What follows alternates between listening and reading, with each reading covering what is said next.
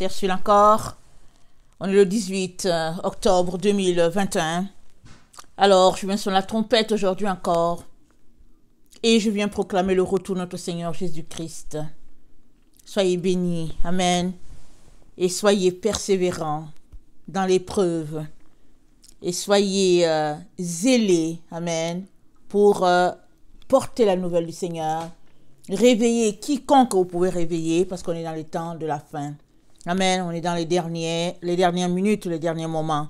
Amen. le Seigneur sait à quoi correspond la dernière minute. Est-ce que c'est une question, est-ce que dernière minute pour le Seigneur, ça équivaut euh, à 5 ans, à 10 ans, c'est combien? Je ne sais pas. Tout ce que je sais, c'est qu'on est dans les derniers moments. Amen. Alors, euh, et euh, je pense que la dernière vidéo, j'ai parlé de y aura-t-il enlèvement ou bien est-ce une mauvaise euh, interprétation ou, quelque chose de ce genre? Amen. Parce que l'enlèvement, la théorie euh, de l'enlèvement euh, stipule que, alors, selon les commentaires bibliques bien sûr, selon les commentaires qui existent, c'est que Jésus-Christ revient, amen, des cieux, et les enfants vont à sa rencontre, ils s'en vont au ciel, ils font sept ans, et après ils reviennent. Pour, euh, ils reviennent avec lui, euh, Apocalypse 19, à partir du verset 11, je pense, et euh, il, va, il va se venger de ses ennemis.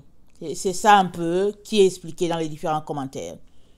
Alors, après plusieurs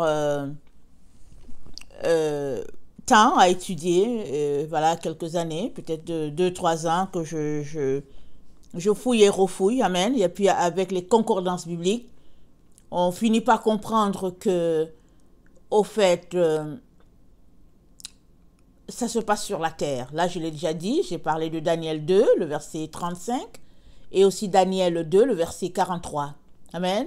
Les choses vont se passer sur la terre. On possédera le pays. Amen et le pays, c'est sur la terre, on va le posséder. Donc, il y aura résurrection, d'abord. Amen. Et ceux qui sont vivants, Amen, auront un corps transformé. On comprend que s'il y a résurrection, s'il y a quelqu'un qui est mort il y a mille ans, et qu'il ressuscite, on comprend qu'il ressuscite dans son corps glorifié, comme l'a dit l'apôtre Paul. Amen. Alors, tout cela pour dire que il est important qu'on ait la bonne explication. Amen. Qu'on aille dans le sens de ce que l'Esprit de Dieu est en train de dire. Alors, on comprend que quand on nous a dit il viendra dans les nuées, ou bien sur les nuées, ou bien sur une nuée, suivant si tu lis Marc, ou bien Matthieu, ou bien euh, Thessalonicien, peu importe, il est important d'aller chercher le sens de nuée. Amen. On est allé voir ça dans la vidéo. Je vous encourage à écouter la vidéo euh, qui précède celle-là. Non, qui, euh, qui, euh, qui vient avant celle-là. Amen. Alors, nuée, Amen, ça a la connotation au fait du Saint-Esprit. Un peu quand le Saint, la nuée suivait Israël, au fait, dans la journée. Et quand le soir, c'était la flamme de feu, quand Israël devait se déplacer d'un point à l'autre alors qu'il traversait le désert. Alors la nuée, ça parle de la présence de Dieu, ça parle du Saint-Esprit. Amen. Quand on va chercher le sens, dans la concordance grecque, c'est le 3507. Je vous encourage beaucoup à faire vos recherches en anglais, si vous parlez l'anglais, parce qu'en français, souvent, on n'a pas, a, souvent même, on a, on a à peine un petit mot, ou bien euh, une petite lettre, qui un petit mot qui explique le sens. Mais en anglais, c'est détaillé, c'est étoffé. Amen. Alors, on a plus d'éléments. Amen. Alors, euh, donc voilà. Alors, c'est le, nombre 3507 qui parle de nuée. Amen. C'est pas la nuée, le nuage. Amen. Euh, la nuée dans le ciel, un nuage. Non, c'est pas ça. La nuée ici, c'est le Saint-Esprit. Et euh, donc, notre Seigneur nous a bien dit dans Malachie, Amen, qu'il va venir. Mais avant qu'on lui présente les offrandes dignes de ce nom, il nous a dit qu'il va nous faire envoyer d'abord son messager. Il va nous purifier, il va nous épurer comme on épure l'or. Et nous savons que son messager, il parle du Fils de l'homme qui vient. Amen. Mais avant que ce Fils de l'homme vienne, avant qu'on le voie, il y a beaucoup d'éléments qui sont déjà détaillés avant qu'on le voie. Amen, on va le lire. C'est sur ça que j'aimerais qu'on s'attarde un peu aujourd'hui. Amen. Parce qu'il est important qu'on ait, Amen, le fil des événements, Amen, à l'esprit. Amen. Alors, le Seigneur m'a envoyé euh, annoncer son retour euh, en 2017.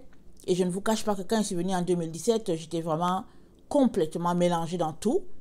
Et même, je ne me sentais pas digne d'être là. Et j'ai dit au Seigneur que je ne savais pas grand-chose. Il m'a dit, va avec la force que tu as. Et euh, ça, ça m'a rassuré. Parce que dans mes erreurs, Amen, il me pardonne, Amen. Et puis, petit à petit, j'ai euh, appris euh, à décortiquer et puis à comprendre et puis aussi euh, à avoir plus une, meilleure compréhension selon l'Esprit de Dieu. Mais il a fallu d'abord que je parte avec ce que j'avais. Amen. Alors, ce que je vous apporte là, je ne suis pas en que je suis la spécialiste qui comprend la chose. Pas du tout, pas du tout. Je viens tout simplement vous partager l'évolution de ma pensée. Amen. À ce stade-ci. Parce que si j'ai commencé en 2017, maintenant ça fait presque 4 ans. Hein, un peu plus de trois ans et demi que je suis là en ligne, presque quatre ans. Alors, euh, euh, j'ai quand même eu le temps, euh, d'acquérir, amen, de la compréhension, amen, d'autocompréhension qui, qui est venue un peu aider.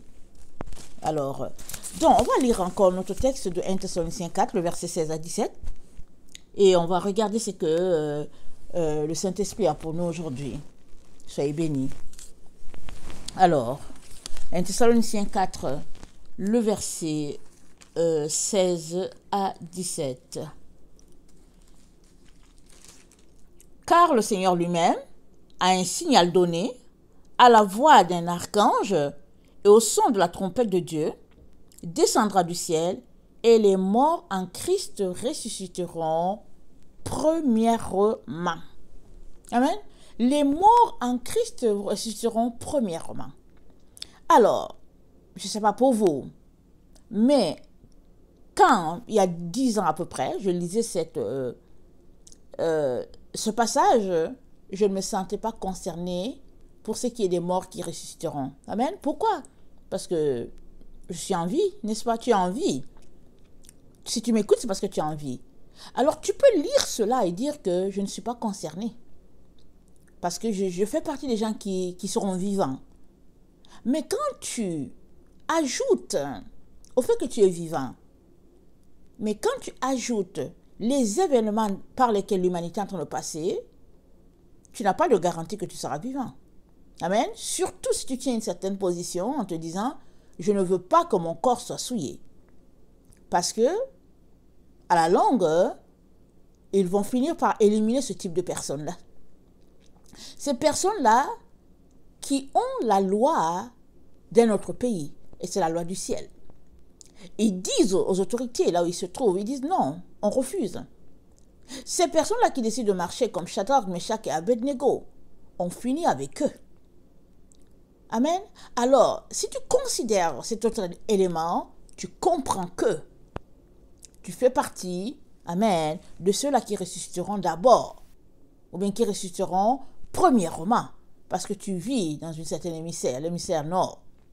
C'est là que les choses euh, euh, battent leur plein. Même si euh, ils font campagne, ils, font du tapage en Afrique, là, ou, bien dans les autres pays, en Inde, etc., etc., même, même s'ils font pression dans ces endroits-là et tout, on sait que les gens réussissent quand même à s'échapper, à fuir, à aller se cacher, et puis peu importe ils essayent, ils, font ce qu'ils peuvent, pour aller euh, se camoufler à quelque part. Amen.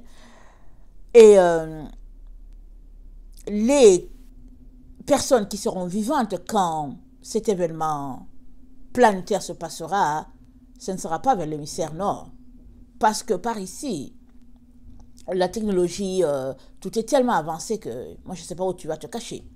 Surtout si tu fais partie de ces personnes qui ont un cellulaire et puis avec le cellulaire, on te localise tout de suite.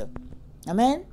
Alors, si on considère ces éléments-là, on se rend compte que notre génération, la génération de la fin que nous sommes, Amen, nous faisons partie de ceux-là que c'est écrit, et les morts en Christ ressusciteront premièrement. Même si tu auras été mort pour cinq jours, pour deux jours, euh, pour une semaine, avant que cet événement se passe, tu seras mort. Et quand tu ressusciteras, eh tu ressusciteras dans ton corps incorruptible. Parce que pourquoi est-ce qu'on t'aura tué? On t'aura tué parce que tu fais partie de la ligne, cette ligne dure-là qui dit je ne veux pas qu'on me touche. Avec quoi que ce soit, je ne prends rien. Pour le moment, on sait que tout est volontaire et puis les gens sont invités à aller dans une certaine direction. Amen. Pour le bien de tous, disent-ils. Amen. Mais il y a un groupe qui dit, qui dit moi, non, je ne veux rien et je ne vais pas dans une seule direction. Je ne veux pas dans une direction indiquée. Je marche seulement, je marche selon les consignes que me donne. Excusez-moi. Je suis. Je marche selon les consignes que me donne euh, euh, l'Esprit de Dieu. Alors ceux-là, comme je l'ai déjà dit, ils vont finir, en tout cas d'une certaine manière. En tout cas, surtout s'ils vivent en Occident. Parce que le signal sera donné à un moment donné. Amen. Et les gens passeront de maison en maison. Alors ça, ce n'est pas... Euh, c'est pas caché. Donc il faudrait être une personne qui vit, qui vit dans l'illusion pour penser que, au fait, il n'y aura pas de répercussions. Amen. Alors, mais quand tu penses qu'il y, aura répercussions, alors tu te prépares, n'est-ce pas? Tu te prépares et puis tu sais que, ben voilà, c'est ça. Donc, l'apôtre Paul nous dit, les morts vont ressusciter d'abord. Ensuite, les vivants qui seront restés, ils seront tous ensemble enlevés avec eux dans les nuées à la rencontre du Seigneur dans les airs. Ainsi, dit-il, nous serons pour toujours avec le Seigneur. Amen, alléluia. Alors, on a déjà parlé de cette affaire d'enlever, d'être dans les airs. Alors, on a déjà parlé pour dire que nuée et puis air et tout, ça fait allusion au Saint-Esprit, à l'environnement du moment, là où il y aura la transformation, Amen, et la présence de l'Esprit de Dieu, qui sera assez manifeste comme dans le temps où Israël a traversé le désert.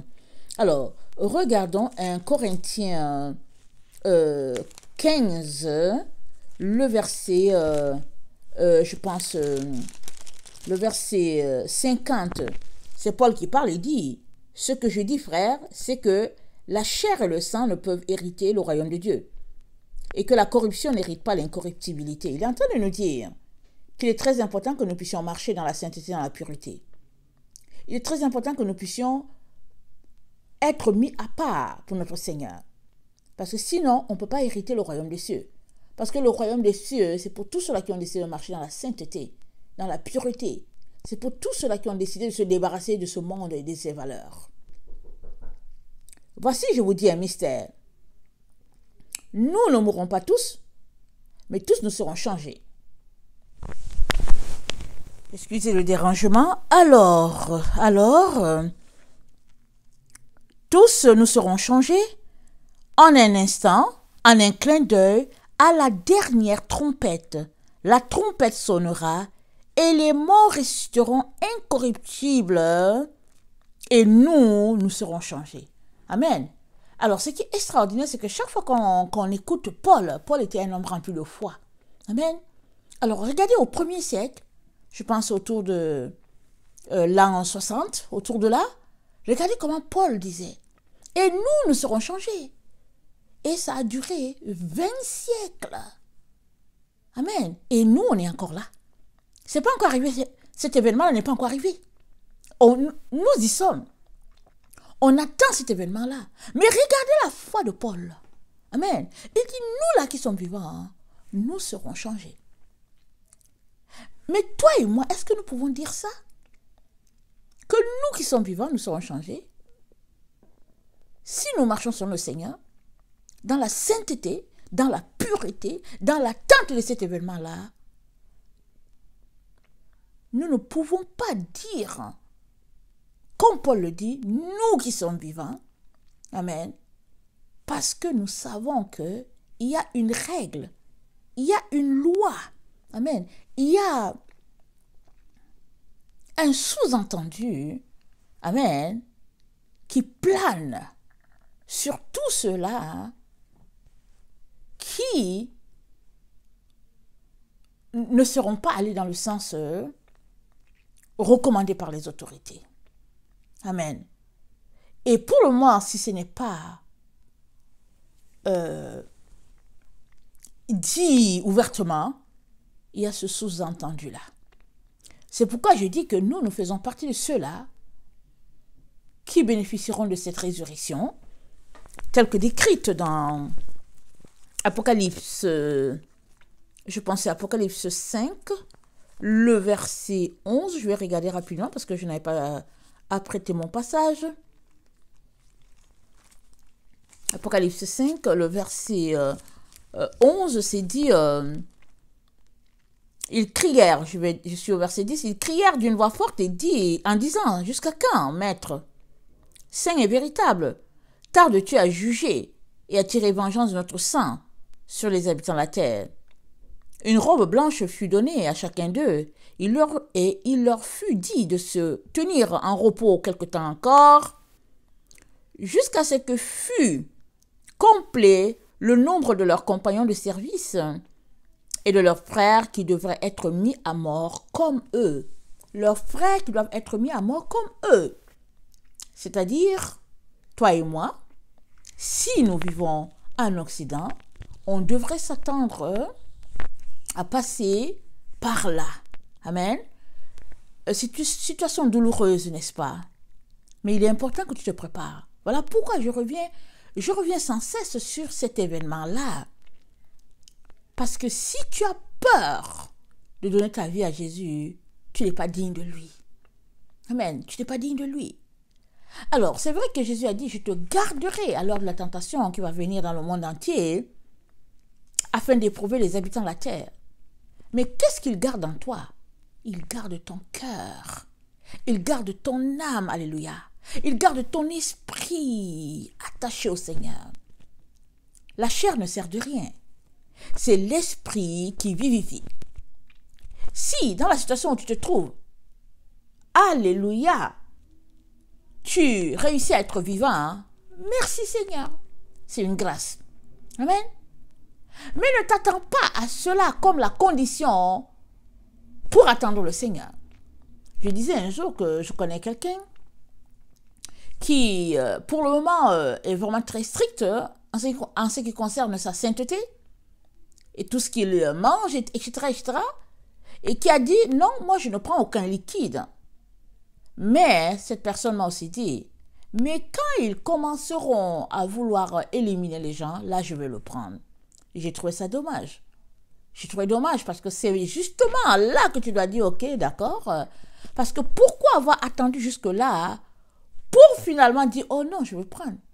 Amen. Mais j'ai écouté, je n'ai rien dit parce qu'il est toujours très très important, avant de parler, de t'assurer que c'est le Saint-Esprit qui est en train de parler. Parce que s'il n'y a pas d'ouverture, ça ne sert à rien. Il faut plutôt prier pour la personne. Et les anges, le Saint-Esprit va faire le travail dans le cœur de la personne et elle va finir par comprendre que nous y sommes. Nous sommes dans ces moments-là qu'il a attendus, pour lesquels il a prié tant, nous y sommes. Alors, comment dire maintenant que je ne veux pas mourir? Amen. Et Paul a dit, pour moi, la mort est un gain.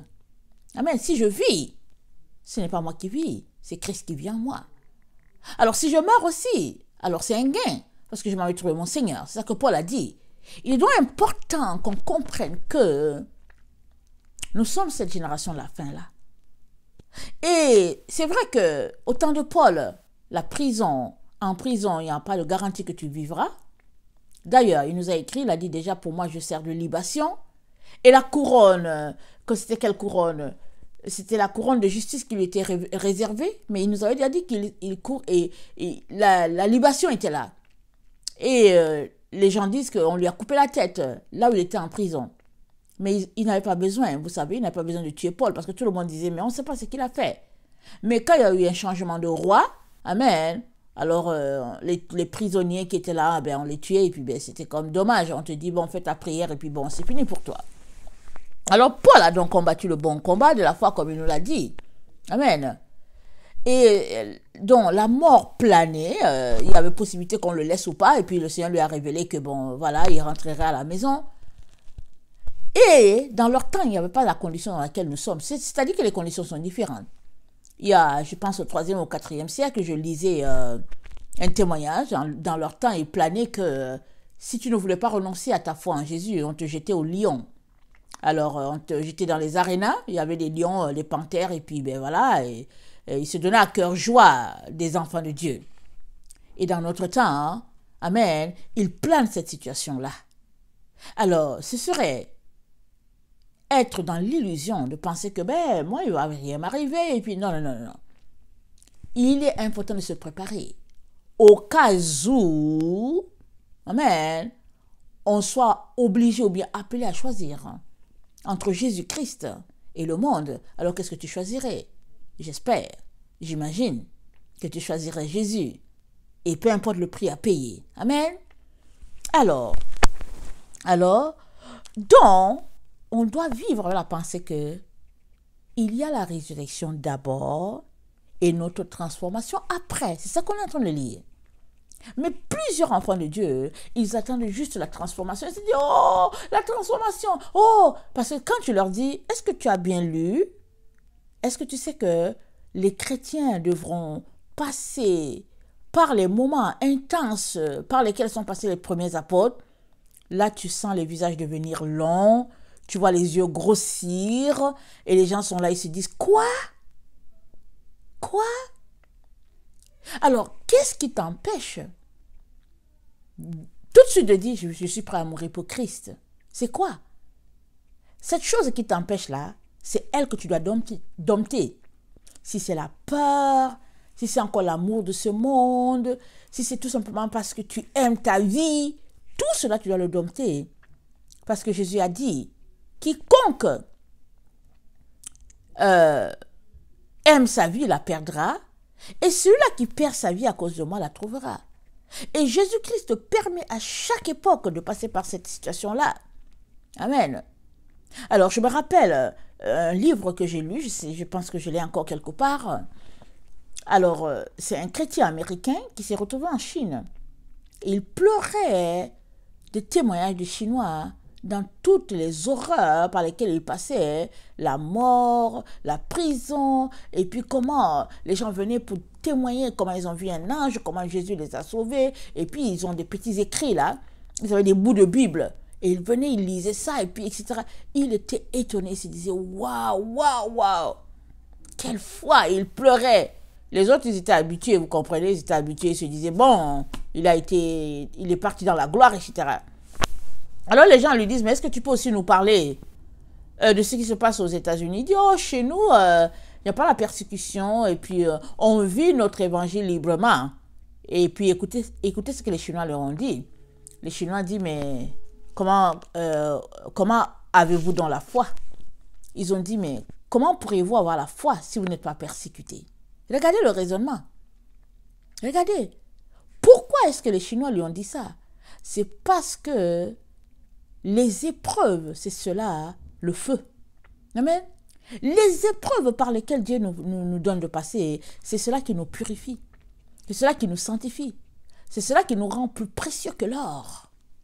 Alors si tu refuses les épreuves, c'est-à-dire tu vas te compromettre.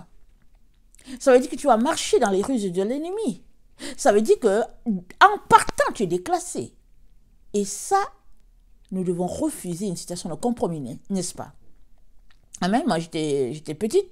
Quand j'ai été élevée, on me, disait toujours, tu ne dois jamais te compromettre. Mais je ne savais même pas ce que ça voulait dire. je ne savais pas. Alors, on a grandi à la maison avec le nom compromis, là. Pas de compromis. Pas de compromis. Et euh, on avait un père qui, tous les matins, était là quand on partait. Ma mère étant enseignante, souvent, elle n'était pas disponible, ou bien souvent, elle était déjà partie. On l'a rencontré rarement. Mais notre père était toujours là. Il nous voyait partir. Et puis bon, euh, c'était comme ça. Alors, tous les matins, quand il nous voyait partir, il s'assurait que tout était correct avec nous. Mais surtout, il ne manquait pas de nous donner toujours un conseil, un proverbe de la vie. Amen. Et on a grandi comme ça. Donc, quand tu viens, finalement, et tu te retrouves dans une situation où tu devrais te compromettre, tu t'arrêtes, tu te dis, mais non, je ne peux pas. Et c'est là que tu apprends le sens euh, du compromis ou pas. Alors moi, j'ai appris le sens du compromis très loin des parents. Une fois ici en Occident, j'ai appris c'est quoi se compromettre ou ne pas se compromettre. Amen. Et c'est très important de rester fidèle aux enseignements de notre Seigneur Jésus-Christ, peu importe la situation par laquelle tu passes. Amen. Peu importe. J'avais à peine, euh, je ne sais pas, 25 ans, hein, quand je me suis retrouvée dans une situation, amen, d'être sans papier, sans argent, sans inscription, et puis euh, dont j'avais la foi que je serais inscrite, j'avais la foi que mes papiers seraient renouvelés, j'avais la foi que l'argent viendrait, amen, pour que je puisse euh, reprendre euh, un cours normal de la vie étudiante, par exemple. Amen. C'était la foi, c'était juste une question de foi. Et chaque fois, il y avait cette menace-là qui planait. Qu'est-ce qui allait arriver? Parce que dans notre temps, c'était assez, c'était assez, sévère. Amen. D'être étudiant dans l'hémisphère nord. C'était pas, pas facile, c'est pas comme aujourd'hui. Amen. Et j'ai appris à dépendre du Seigneur là, dans cette situation-là. Pas de papa, pas de maman, pas de tonton, pas de... Peu importe. Et puis, euh, voilà, euh, donc tu apprends à demeurer, à venir t'asseoir, euh, à prier, à pleurer, et puis, ben écoute, à dépendre du Seigneur. Et souvent, quand tu te tournes, tu as les quatre murs de ta chambre qui sont là, et puis bon, voilà, tu pleures, tu pleures. Et puis, ben voilà, le Seigneur, euh, pendant que tu es là, le Seigneur, il t'épure. Il assoit la confiance. Amen. Il assoit cette relation-là de père à fils ou bien de père à fille. Et puis finalement, tu grandis. Sachant que si le Père terrestre n'est plus là, n'est pas à côté, le Père céleste, il est toujours là. Alors, toi et moi devons développer ce type de relation-là dans les temps dans lesquels nous sommes une relation de dépendance vis-à-vis de notre Père, vis-à-vis de notre Sauveur, Amen, vis-à-vis du Saint-Esprit. Et Jésus-Christ nous a dit, priez sans cesse, sans cesse, afin qu'il vous soit donné d'échapper. Alors, c'est vraiment une recommandation qu'on ne doit pas jeter par terre. Amen. Alors, alors, donc, nous allons ressusciter d'abord et notre corps va, sera transformé après, comme nous lisons dans 1 Corinthiens 15. Amen, hein, le verset 52. Et Paul dit le verset 53, car il faut que ce corps corruptible revête l'incorruptibilité et que ce corps mortel revête l'immortalité. Amen. Alors, si pour que notre corps revête l'incorruptibilité. Pour que ce soit ainsi, Amen, Dieu en train nous dit que le corps pourri, là, ça va ressusciter et glorifier. Ça veut dire que toi et moi devons travailler au niveau de notre volonté pour la, pour la céder complètement à notre Seigneur et renoncer à qui nous sommes. Souvent on s'aime, n'est-ce pas? Surtout ces personnes-là qui se regardent devant le miroir, euh, aller-retour. Il y a des gens, euh, ils vont se regarder devant le miroir 30 euh, fois par jour, tellement ils s'aiment. Donc il est temps que on puisse céder cette partie de nous, Amen, complètement au Seigneur et dépendre de lui. Amen. Et euh, euh, Matthieu 24, on connaît bien notre texte de Matthieu, l'enseignement de notre Seigneur Jésus-Christ par rapport aux événements de la fin. Matthieu 24, le verset 29 nous dit ceci. Amen. Parce qu'il faut savoir euh, à peu près, près euh, comment les choses euh, vont se passer comme l'a décrit Jésus. Il dit, aussitôt après ces jours de ténèbres, de détresse, le soleil s'obscurcira. La lune ne donnera plus de sa lumière. Les étoiles tomberont du ciel et les puissances des cieux seront ébranlées. Alors, le signe du Fils de l'homme paraîtra dans le ciel. Toutes les tribus de la terre se lamenteront, et elles verront le Fils de l'homme venant sur les nuées du ciel avec puissance et une grande gloire. Il enverra ses anges avec la trompette retentissante. Ils rassembleront ses élus des quatre vents depuis une extrémité des cieux jusqu'à l'autre. Instruisez-vous par une comparaison tirée du figuier. Alors, quand on lit ça là, on comprend qu'il n'y a pas un enlèvement quelque part là. Amen? On doit d'abord passer par cet événement-là, où le soleil va devenir noir, la lune ne va plus donner de, de sa clarté, où les étoiles des cieux vont s'écrouler, et on va voir le Fils de l'homme venir. Et après cela, nous serons rassemblés des quatre coins, l'endroit où nous sommes. Et maintenant, dans nos corps glorifiés, on comprend que, ben voilà, On peut aller où on veut et comme. Pourquoi? Parce qu'on sera comme des anges. Il n'y a personne, euh, à part lui, Dieu le Père, qui dit aux anges, allez-y en direction de telle maison, ils vont. Mais un ange, il est dans un corps glorifié. Il peut te voir et toi, tu ne le vois pas. Il peut être là, il passe par les murs. Et ben voilà. Alors que toi et moi, nous ne pouvons pas passer par le mur. Mais dans un corps glorifié, oui. Alors le Seigneur nous dit quelque chose ici. Parce que plusieurs enfants de Dieu attendent d'être dans un corps glorifié pour que ces événements-là arrivent. Mais quand nous lisons les Écritures, les Écritures nous disent le contraire. Ils nous disent que ces événements-là vont d'abord arriver. Et après, notre corps suivra une transformation. Alors, si nous sommes vraiment cette génération de la fin, nous comprenons que nous sommes complètement à la fin. Quand on lit des, passages de ce genre. Allons-y regarder Matthieu 13. Matthieu 13, le verset 23 nous dit ceci. Soyez sur vos gardes, je vous ai tout annoncé d'avance. Mais dans les jours, pardon, mais dans ces jours, après cette détresse, cette détresse c'est quoi? Quand tu vas trouver le sens, on dit après cette tribulation. Alors, il y a plusieurs qui ont situé la tribulation, euh, il y a plusieurs qui comprennent la tribulation comme le jour du Seigneur. J'aimerais vraiment que tu enlèves ça de ta tête. On est déjà dans la tribulation. Amen. On est dans la tribulation. Elle commence toute petite. Amen. Elle n'est pas encore à son summum. Et quand elle arrivera à son summum, quand ils se mettront euh, à être très très sévères envers un groupe de personnes qui refusent, qui refusent d'aller dans le sens des autorités, on va entendre les gens dire Oh, c'est la tribulation. Mais nous y sommes déjà. Amen, nous y sommes déjà. Alors, mais on dit Mais dans ces jours, après cette détresse, c'est-à-dire après cette tribulation, le soleil s'obscurcira, la lune ne donnera plus de sa lumière, les étoiles tomberont du ciel, et les puissances qui sont dans les cieux seront ébranlées. Amen. Les puissances dans les cieux seront ébranlées.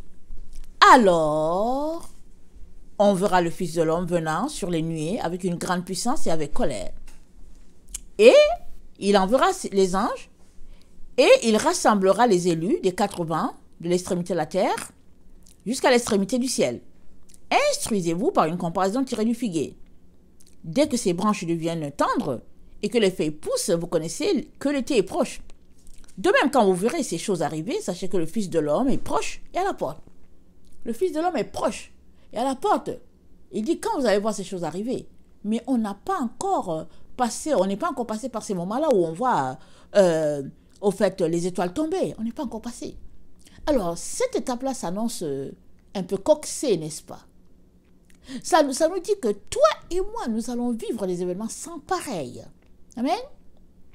Alors, je vais vous partager une vision que j'ai eue aujourd'hui. Amen? Alors, j'étais en train de prier et euh, je ne dis pas que c'est dans ces. je ne suis, pas en train de dire que ça se passe cette année, ok? J'étais en train de prier. Et devant moi, j'ai vu les feuilles d'automne. Alors on sait que c'est l'automne. Et puis les feuilles tombent, il faut les ramasser, tout ce qu'on peut dire. Alors euh, c'est comme euh, une forêt de, Je sais pas, mais bon, c'était des arbres d'automne, colorés. Et je vois écrit The End, la fin. Je vois ça écrit en anglais. Et vous savez, les feuilles d'automne, vous savez, c'est du jaune, euh, c'est du brun, euh, c'est du marron, et puis... Mais l'écriture était aussi comme couleur or. Donc, je ne voyais pas très bien. J'étais là, j'ai dit, mais je comprends pas. Et puis, j'essaye de forcer dans ma vision pour essayer de voir, parce que c'était sur les couleurs d'automne.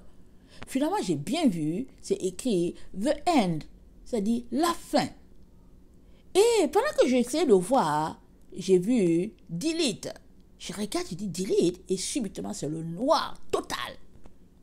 Et c'est comme un peu quand on regarde la télévision, le film est fini, vous, savez ces vieilles euh, émissions de VHL, VHS, tu regardes le film fini et puis subitement l'écran de télévision fait, ça c'est noir parce que le film est fini et la bande aussi est finie et puis finalement voilà tout est noir et puis là si euh, tu ne savais pas que c'est fini que tu étais encore là ben, tu es obligé de te lever pour aller arrêter la télévision parce que ça fait du bruit, quelque chose de ce genre.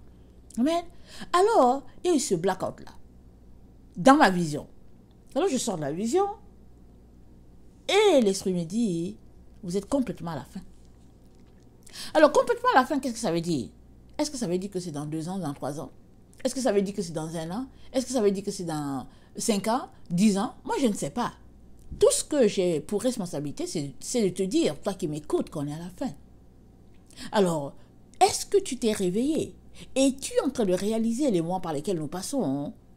Et es-tu en train de te mettre euh, à l'abri? Es-tu en train de sauver ton âme, de mettre ton âme à l'abri? Parce que la Bible, dit que donnerait, ou bien que gagnerait un homme, non, que donnerait un homme en échange de son âme. Que donnerais-tu en échange de ton âme? Amen. Et la Bible nous dit la sainteté à outrance. Et si cette sainteté doit t'amener jusqu'à mourir, ben c'est ça, c'est ça, c'est que c'est la sainteté. On ne peut pas faire semblant. On ne peut pas essayer, euh, vous voyez, de, euh, de jongler, de manipuler Dieu. On est appelé à se tenir droit. Amen. Comme quand Jésus s'est tenu droit devant Pilate. Devant Pilate. Il n'a rien fait. On l'a amené, il était là, il était là tout droit. Devant. On l'a frappé, ils ont fait ce qu'ils voulaient, ils l'ont amené, et puis bon, voilà, et puis ils l'ont cloué, et puis ben, quand il y a eu shutdown, tremblement terre, tout est devenu noir, et ils ont dit, ah, assurément, c'était un fils de Dieu. Ils ont commencé à chercher des moyens pour camoufler l'affaire. Pourtant, de son vivant, il avait démontré que l'Esprit de Dieu était avec lui. Il avait démontré, ah, ah, il avait démontré que il connaissait le Seigneur. Mais la jalousie, Amen, des, des, des, leaders religieux ont fait que, ben, on l'a traité d'usurpateur. Donc, ça a donné ce que ça a donné. Tout cela pour dire que, toi et moi, ne pouvons pas compter sur la fausseté pour pouvoir nous échapper. Nous ne pouvons pas compter sur la manipulation, sur euh, l'hypocrisie, sur le mensonge, les camouflages. On ne peut pas, on ne peut pas. On est appelé à se tenir droit. On est appelé à rechercher toujours la lumière. Et la lumière, c'est la vérité. Parce que toute autre situation nous conduit directement à être opposés à Dieu. Et euh, c'est pas bon pour nos âmes. Amen. Alors, en référence donc à ce que je disais, que j'ai vu la fin sur mon écran de vision, Daniel 8, le verset 23 euh, euh, nous dit que dans le temps, voilà, je vais lire, euh, Daniel 8, ça dit, le verset 23, à la fin de leur domination, lorsque les pécheurs seront consumés, il s'élèvera un roi impudent et artificieux. Sa puissance s'accroîtra mais non par sa propre force. Il fera d'incroyables ravages, il réussira dans ses entreprises, il détruira les puissants et le peuple des saints. À cause de sa prospérité et du succès de ses ruses, il aura de l'arrogance dans le cœur. Il fera périr beaucoup d'hommes qui vivaient paisiblement et il s'élèvera contre le chef des chefs. Mais il sera brisé sans l'effort d'aucune main. Ok, le chef des chefs, euh, on comprend que euh, ça fait référence à cet événement d'Apocalypse 11, le verset 7, qui dit euh, Quand ils auront achevé leur témoignage, la bête qui se monte l'abîme leur fera la guerre, les vaincra et les tuera. Et leurs cadavres seront sur la place de la grande ville qui est appelée dans un sens spirituel Sodome et Égypte, là même où leur Seigneur a été crucifié. Ok? Donc c'est cet événement-là. Mais la Bible nous dit que à la fin de leur domination, lorsque les pécheurs seront consumés, Ici, ça confirme qu'il y aura une situation, amen, où tout devient noir, où c'est la fin. Les pécheurs sont consumés. Tout s'écroule. Tout. Pourquoi? Parce que Dieu a pour projet de passer au millénium. Il a pour projet de donner à ses enfants d'entrer dans son sabbat, son repos, parce que le sabbat c'est le repos. Et il est donc très important, mon frère et ma soeur, que tu puisses réaliser que on est dans les, temps de la fin. Amen. Alors souvent tu peux espérer que tu, tu veux entendre la voix d'un grand pasteur, d'un grand évangéliste qui te le dise, mais malheureusement, euh, euh, Dieu va utiliser euh, des personnes qui n'ont pas grande valeur pour te dire ces petites choses-là. Amen. Des enfants, des femmes avec leurs casseroles, des choses comme ça. Pourquoi? Parce que dans leur détresse, dans leur moment difficile, ce sont des personnes qui prennent leur Bible et qui fouillent. Amen. Et les enfants, c'est que quand un enfant se met à prêcher, ou bien annoncer Christ, c'est qu'il a été visité par l'Esprit de Dieu. Et ce qui sort de sa bouche, ça ne vient que du Très-Haut. Et donc voilà. Et la Bible dit, dans les derniers jours, vos fils et puis vos filles vont prophétiser. Vos jeunes gens auront des visions, vos vieillards, des songes. Pourquoi? Parce que Dieu a décidé de répandre, Amen, sur ses enfants son esprit, afin que la récolte rentre à la maison. Et on est dans le temps de la récolte. On ne peut pas ignorer cela. On ne peut pas faire comme si on n'est pas concerné. On ne peut pas continuer de croire à des histoires à dormir debout. Et Paul nous a mis en garde contre l'esprit de séduction. L'esprit de séduction plane, c'est notre génération, c'est notre époque.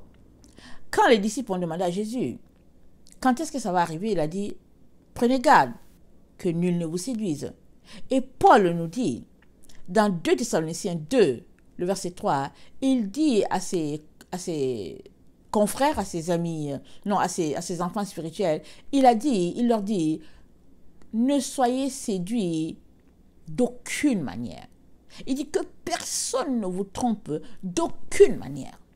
Ça veut dire que toi et moi avons la responsabilité d'aller chercher l'information. Pour savoir dans quel temps nous sommes et qu'est-ce qui se passe. Il nous revient de nous assurer que ce que nous entendons, ça a un cachet de vérité. C'est la vérité, sinon il faut jeter. C'est pourquoi, c'est temps, c'est vrai que je ne le dis pas beaucoup, mais plusieurs de mes vidéos, je dis, quand vous entendez une information de moi, allez-y prier. Allez demander au Seigneur si c'est vrai ou pas. Prenez le temps pour dire, Seigneur, dis-moi quelque chose. Et si c'est vrai, allez vous humilier devant Dieu. Souvent, l'orgueil fait que on refuse d'aller. On se dit, mais cette ménagère là, qu'est-ce qu'elle a à nous dire? Souvent aussi, on se dit, mais non, mais non, mais non. Mais non Elle dit, ce qu'elle dit, c'est faux. Ça je n'ai jamais entendu cela. C'est pas ça qu'on me prêche à l'église. Ou bien c'est qu'elle dit, euh, euh, non, moi j'ai entendu euh, une personne qui m'a dit, mais au fait, au fait quand on t'entend, c'est comme si nous on n'est pas sauvés. J'ai dit, ben écoutez, j'ai pas dit que tu es sauvé, et je ne veux pas dire non plus que tu l'es. Mais à toi de vérifier si tu l'es ou pas. Alors, soit tu entends quelque chose comme ça, et puis tu dis, tu vas voir le Seigneur pour dire, est-ce que je suis sauvé? Il bien à mon secours. Ou bien tu entends quelque chose comme ça, tu dis, oh mais non, mais non, mais non, tu, tu, tu jettes ça, et puis tu continues de vivre ta chrétienté religieuse. Tu vis ta religion ta religion où on te chatouille les oreilles, on te, on te chatouille les yeux, on, on, te, on te tripote de partout, et puis tu es content, tu dis ah ouais, et puis bon voilà. Et tu restes dans l'illusion, hein, dans, la, dans la roue, amen, comme cette souris blanche là, et puis tu es là-dedans, tu as l'impression que tu vas quelque part, mais tu vas nulle part. Et moi, je viens nous encourager, mes chers frères et chères sœurs, à nous réveiller, à nous ressaisir. Et je terminerai en lisant Luc 12, amen, Luc 12, le verset 35, recommandation de notre Seigneur Jésus-Christ, c'est un conseil d'appoint pour notre temps. Amen. Alors il dit, Luc 12, euh, attendez, qu'est-ce que j'ai dit là? J'ai dit euh, Luc 12, le verset 35, que vos reins soient sains et vos lampes allumées. Que vos reins soient sains et vos lampes allumées. Les reins, c'est la vérité. Amen. Parce qu'on met la ceinture à nos reins. Donc, quand, la Bible parle de reins, elle parle de vérité, de ceinture de vérité. Et elle dit que vos lampes soient allumées, ça veut dire réveille-toi. Ça veut dire aie du discernement. Ça veut dire relève-toi. Ça veut dire informe-toi. Ça veut dire secoue-toi. Allez, grouille, fais quelque chose. C'est ça que ça veut dire. Et c'est ta responsabilité de le faire. Parce que si tu retournes Dieu pour dire je ne savais pas, comment tu as fait pour ne pas savoir? Qu'est-ce qui s'est passé dans ta vie? Alors, qu'est-ce que tu faisais pour ne pas savoir? Tu seras la bouche bée. Parce que il est de notre devoir de savoir. Et la meilleure façon de savoir, c'est de prendre ta Bible, de lire, et de dégager du temps dans la prière, une prière sans cesse. Prier, prier, prier. Et l'Esprit va te communiquer des choses. Et c'est comme ça que petit à petit, les écailles vont tomber de tes yeux. Et tu vas réaliser qu'effectivement, on est dans les temps de la fin. Mais si tu t'amuses à courir par-ci, par-là, et à dire, ok, on y reviendra, tu seras surpris et désagréablement. Et le Seigneur ne veut pas cela pour toi. Amen. Que le Seigneur bénisse sa parole. Je vous aime beaucoup et Dieu davantage. Maranatha, Jésus revient. Amen et Amen. Soyez bénis. Alléluia.